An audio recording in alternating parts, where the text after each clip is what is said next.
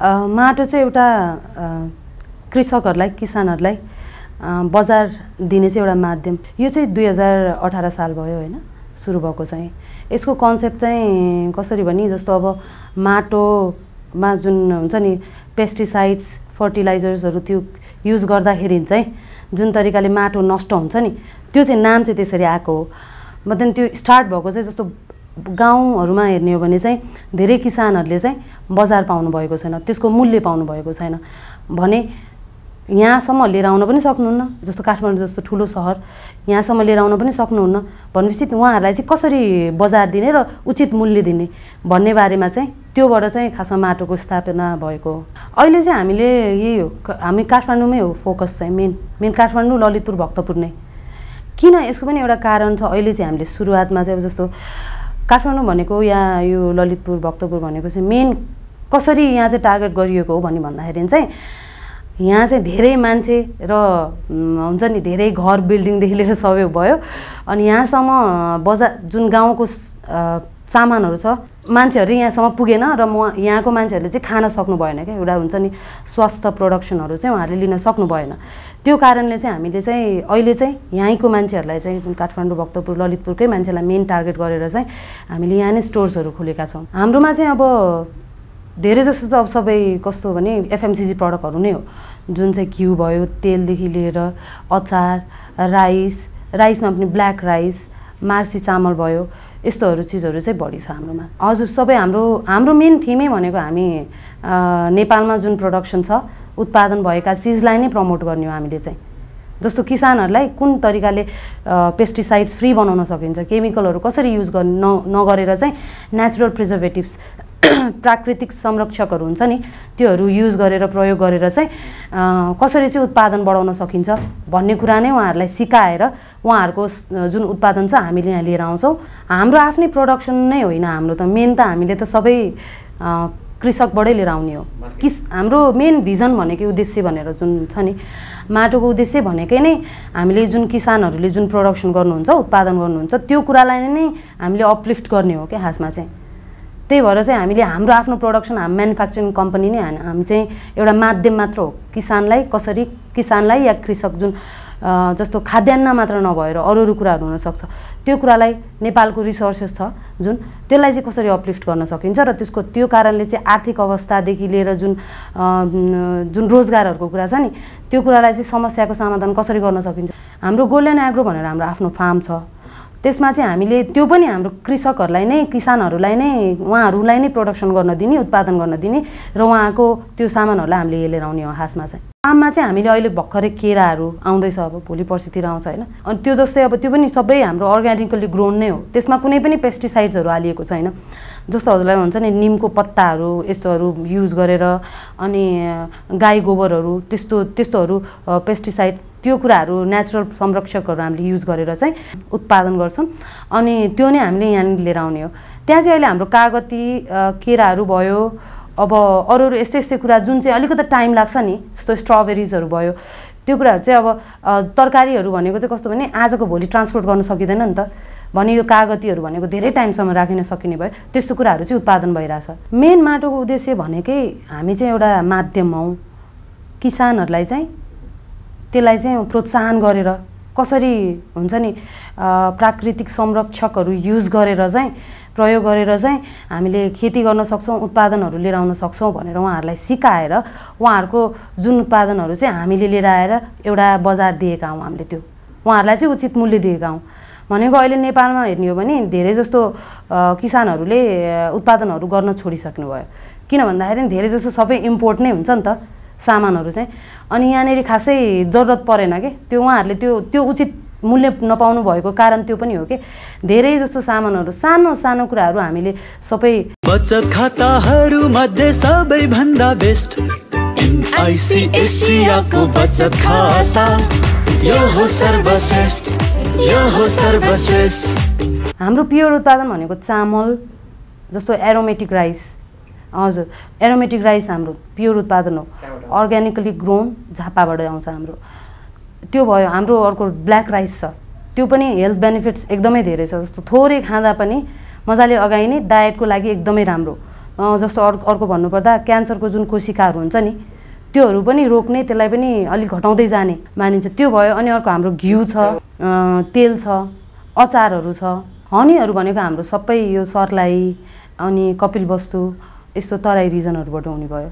अनि अर्को भनेको हाम्रो जस्तो घिउहरू घिउ हामीले यहीँ नौनीहरू चाहिँ डिफ्रेन्ट गाउँहरूबाट त्यहाँबाट आउने भयो भने त्यो नै हामीले भक्तपुरमा हाम्रो एकजना किसान हुनुहुन्छ उहाँले नै एकदमै सानो आगोमा राखेर त्यसरी बनाउनुहुन्छ घिउ। एकदमै घरायसी तरिकाले बनाउनुहुन्छ घिउ। त्यो अर्को भयो हाम्रो तेल कोल्ड प्रेस्ड मस्टर्ड ओइल भन्ने छ। त्यो चाहिँ हाम्रो खोकनाबाट आउँछ। जस्तो एउटा चाहिँ हुन्छ भुटेको तेल होइन? अर्को चाहिँ कोल्ड प्रेस्ड भन्ने हुन्छ होइन। अचारहरू चाहिँ हाम्रो ललितपुरमा बन्छ।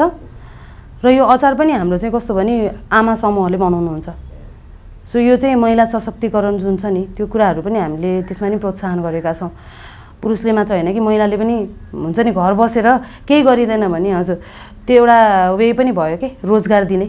हाम्रो चाहिँ यसमा गार्लिक टिमुर भयो अकबरे अचार माटोको पानी चाहिँ हाम्रो रसुवाबाट लिएर आइन्छ। जुन चाहिँ गोसाइकुण्डमा हुन्छ नि त्रिचालिस सय मिटर माथि चाहिँ एल्टिट्युडमा चाहिँ जम्मा भएको पानी ढुङ्गाहरूसँग ठोक्किँदै न- डिफ्रेन्ट त्यसको मिनरल्स भिटामिन्सहरू चाहिँ पाएर त्यसरी एकदमै अनफिल्टर्ड अनप्रोसेस्ड रूपमा हामीले त्यसरी भरेर लिएर आएका हौँ। त्यो पानी चाहिँ त्यस्तो छ। यसमा चाहिँ हजुरलाई अब सबैभन्दा इम्पोर्टेन्ट कुरा भनेको चाहिँ के हो भने पिएच भ्यालु जुन पिएच कम्पोजिसन भनिन्छ यसको चाहिँ अराउन्ड सेभेन छ। त्यो भनेको चाहिँ एकदमै खाने योग्य पानी हो। जस्तो बाहिरसँग कम्पेयर गर्ने हो भने बाहिरको पानीमा खाने योग्य बनाइएको हुन्छ प्रोसेस्ड गरेर। प्रशोधन गरेर त्यसलाई खाने योग्य बनाइएको हुन्छ भने हाम्रोमा चाहिँ त्यो हाम्रो आफैमा त्यो खाने योग्य छ। नेचुरल्ली हुन्छ त्यो। हजुर। अब मैले अघि तपाईँलाई भने जस्तै जस्तो किसानहरूले अहिले जुन मूल्य पाउनुपर्ने बजारको मूल्य मात्र नभएर बजारै पाउनु भएको हुन्न। जस्तो जुम्लाको सामान जुम्लाको जुन उत्पादन छ यहाँसम्म लिएर आउनु त एकदमै कठिन नै छ नि त होइन त? सो त्यो मात्र नभएर हामीले त्यो त्यहाँ जुम्लामा गएर एकचोटि आफूले त उहाँहरूलाई सिकाउँछौँ नि कसरी त्यसको उत्पादन गर्ने? सिकाउँछौँको मतलब कस्तो हो भने कसरी त्यसलाई त्यो केमिकल्स पेस्टिसाइड्सहरू युज नगरिकन उत्पादन गर्न सकिन्छ? त्यो कुरा हामीले सिकाउँछौँ भने उहाँहरूलाई त्यो त्यसको एउटा इम्पोर्टेन्स महत्त्वपूर्ण कसरी छ भन्ने कुरा पनि भन्छौँ। त्यसरी जुन कृषकहरूलाई यहाँसम्म लिएर आउँदा समस्याहरू पर्छ नि त्यसमा पनि हामी सहयोग गर्छौँ के? जस्तो सामानहरू त त्यहाँबाट यहाँसम्म ट्रान्सपोर्ट गर्न त गाह्रो हुन्छ नि त। त्यो रेगुलर रूपमा कसरी गर्न सकिन्छ? त्यो कुरा पनि हामी उहाँहरूलाई चाहिँ सहज बनाइदिएका छौँ। अहिले चाहिँ हाम्रो लगभग सबै ठाउँमा एभाइलेबल नै छ। जस्तो हाम्रो आफ्नै माटोको स्टोर भनेर आठवटा छ। आठवटा छ हजुर। यो जस्तो ललितपुर एरियामा तिनवटा छ। सानेपा झम्सिखेल कुपन्डोलमा। बानेश्वरमा छ। अर्को चाहिँ हाम्रो मन्डिकाटार सामाकोसी नारायणथान यिनीहरूमा छ नक्सालमा। हजुर यो मात्र यति आठवटा स्टोरमा मात्र होइन कि हाम्रो भाटबटिनी सेल्सबेरिज अनि त्यो पछाडि अर्को चाहिँ हाम्रो इकम साइटहरूमा पनि जस्तो दराजहरू त्यहाँहरूबाट पनि लिन पाइयो भने अनलाइन अर्डर गर्न पनि सकिन्छ। सुरु सुरुमा चाहिँ अलिकति जस्तो हाम्रो माटोको पानीको पानीको चाहिँ डिमान्ड पहिला खासै थिएन। पहिला सुरुमा त प्रडक्टको बारेमै जान्नु पऱ्यो नि त मान्छेहरूले त। त्यसैले गर्दा चाहिँ सुरुमा अलिकति कम थियो भने अहिले चाहिँ अलिक बढिरहेछ। र हामीले चाहिँ कस्तो गर्न खोजेको हो भने माटो चाहिँ अरूभन्दा अलिकति डिफ्रेन्ट छ। एउटा एउटा प्रडक्टमा आफ्नो आफ्नो जुन स्पेसिफिक नेचरहरू छ नि या त्यसको हेल्थ बेनिफिट्स छुट्टै छुट्टै छ क्या? जस्तो घिउको हो भने जुन मान्छेहरूलाई जुन मिथ छ एउटा हुन्छ नि मान्छेहरूले नजानेका भन् नजान्ने भन्दा पनि मान्छेहरूलाई जुन अन्धविश्वास छ कि कुन हुन्छ नि घिउ खाँदा चाहिँ एसिडिटी ग्यास्ट्रिक प्रब्लम्सहरू आउँछ भने काउ घिउ गाईको प्योर घिउ छ नि त्यो खाँदाखेरि त्यस्तो समस्याहरू देखिँदैन। त्यो कुराहरू चाहिँ हामीले त्यो कुराहरू चिनाउन खोजिरहेछौँ। हाम्रो चाहिँ अब गुणस्तर तरिकाले हेर्ने भने सबै जति पनि सामानहरू छ त्योहरूमा चाहिँ गुणस्तरहरू त्यो लेभलको मेन्टेन गरिएको छ। जस्तो अचार बनाउँदा जुन तरिकाले हामीले अचार बने हाम्रो बनाउनु भएको छ हाम्रो किसानहरूले आमाहरूले चाहिँ त्यसरी बनाउनु बनाउनु हुँदाखेरि त्यो अनुसारको हाइजिन मेन्टेन गरिएको छ। माटोको चाहिँ अब अहिले हामी त एउटा माध्यम भयौँ होइन? यस्तै यो माध्यम भएरै काम गर्छौँ हामीले जस्तो किसानहरूको किसानहरूले जुन उत्पादन गर्नुभएको छ त्यही कुरालाई नै हामीले प्रमोट गर्ने हो। अब जस्तो भनौँ न कृषिमा त खाद्यान्न मात्र पर्दैन। अरू पनि हुन्छ नि त जस्तो अब लुगाहरूको लत्ता कपडाहरूको भयो। अब जस्तो त्यसैमा पनि हाम्रो भावी योजनाको कुरा गर्दा अल्लोको जुन उत्पादन छ त्यसलाई हामीले बढाउन खोजिरहेछौँ। हर्ब्सहरू भयो त्योहरू लिएर आउन खोजिरहेछौँ। जस्तो ब्युटी केयर हुन्छ नि त्योहरूको त्योहरूमा पनि हामी हुन्छ नि इन्क्रिज गर्न खोजिरहेछौँ। यो लगायत खाद्यान्न बा लगायत हुन्छ नि घाँस बाँस कपास सबै कृषिबाटै पाइने हो। र सायद हामी हुन्छ नि फ्युचरमा चाहिँ सबै कुराहरू नै हामीले माटोले लिएर आउन सक्छ। अब मैले जस्तै भने नि हजुरलाई कृषिमा एग्रिकल्चरमा उयो मात्र जस्तो खाद्यान्न मात्र त परेन। जस्तो भनिन्छ नि एउटा एउटा रुखबाट खाद्यान्न खानेकुरा मात्र त पाइँदैन नि त। लत्ता कपडादेखि लिएर कति कुराहरू पाइन सकिन्छ। भन्ने हो भने कृषिबाटै घाँस बाँस कपास नै आउने हो। सो त्यो त्योसँग खाद्यान्न मात्र भएन कि लत्ता कपडादेखि लिएर लगाउने चिजहरूदेखि लिएर सबै पऱ्यो नि त। त्यो कुराहरू सायद हामीले पछि लिएर आउँछौँ। जस्तै हामीले अहिले चाहिँ धेरै जस्तो जुन नेपालमा या मान्छेहरूको जुन कन्सेप्ट एउटा के छ भने मह चाहिँ जम्यो भने त्यसमा चिनीको मात्रा बढी छ भनिन्छ। त्यो चाहिँ कस्तो भने हाम्रो एउटा हनी त कस्तो भने र हनी हो। हामीले अनप्रोसेस्ड कुनै पनि प्रशोधन युज नगरिकन हामीले हनी लिएर आएका हौँ होइन? जुन चाहिँ हुन्छ नि हाम्रो पनि हनीमा पनि तिनवटा क्याटेगोरी छ। एउटा रुदिलो चिउरी र तोरीको मस्टर्डको तिनवटा छ। हामीले एक त हनी भनेर क्याटेगोरी नछुट्याइकन लिएर आएको होइन होइन? त्यसमा चाहिँ तिनवटा एउटा चिउरीबाट आउँछ एउटा रुदिलोबाट आउँछ र एउटा तोरीबाट आउँछ भनेर हो। जुन चाहिँ चराएर हुन्छ नि मौरी चराएर त्यहाँबाट जुन आउने एनी यो प्रे प्रिजर्भेटिभ्सहरू केही एड नगरिएर लिएर आइएको हो होइन? अनि त्यसमा चाहिँ हजुरलाई धेरै जस्तो र हनीमा चाहिँ हुन्छ नि मस्टर्ड र चिउरी चाहिँ जम्ने गरेका छन्। सो त्यो तोरीको जुन नेक्टरमा जुन नेक्टर लिन्छ नि म मौरीले चाहिँ हजुर रस लिन्छ नि रस लिँदा चाहिँ त्यसमा जुन ग्लुकोजको मात्रा छ नि त्यो त प्राकृतिक रूपमा प्राकृतिक चिनी भनौँ न अब होइन? नेचुरल सुगर के? त्यो ग्लुकोज त त्यो हो नि त मान्छेको जिउमा चाहे एकदमै चाहिने नै चिज हो नि त होइन? जुन जस्तो चु तोरीमा चाहिँ हुन्छ नि र त्यो तोरीमा जुन मौरी चराउँदाखेरि मौरीले लिन्छ नि लिँदाखेरि चाहिँ त्यो नेक्टरमा चाहिँ नेक्टर लिँदाखेरि चाहिँ त्यसको चाहिँ ग्लुकोजको मात्रा अलिकति बढी भएको कारणले त्यहाँनिर त्यो चाहिँ अलिकति जम्ने गरेको छ। धेरै जस्तो जाडोको समयमा जम्छ।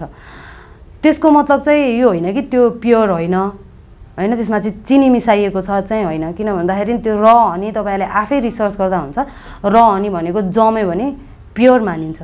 जस्तो हाम्रो नेपालमा उत्पादन जुन लोकली प्रड्युस छ नि त्यो कुराहरूमा चाहिँ हेल्थ बेनिफिट्सहरू पनि छ। यदि हामीले त्यसको रिसोर्सेसहरूलाई चाहिँ एकदमै राइट तरिकाले युज गऱ्यौँ भने चाहिँ धेरै जस्तो जुन यङ्स्टर्सहरू विदेशिनु परेको छ नि त्यो कुराहरू प्रब्लमहरू सायद आउँदैन। अनि हामीले जुन इम्पोर्ट भएको सामग्री हुन्छ नि त्यो कुराहरू चाहिँ धेरै युज हामीले यहाँनिर नगरेर आफ्नो नेपालमा जुन उत्पादन भएका चिजहरूलाई चाहिँ बढी इम्पोर्टेन्स दियौँ भने इम्पोर्ट हुने वस्तुलाई धेरै हुन्छ नि त्यो कुराहरूलाई त्यो कुराहरू हामीले चलाउनु नै पर्दैन। किनभने हामीलाई थाहा छैन त्यसमा के के के मिसिएको छ भनेर।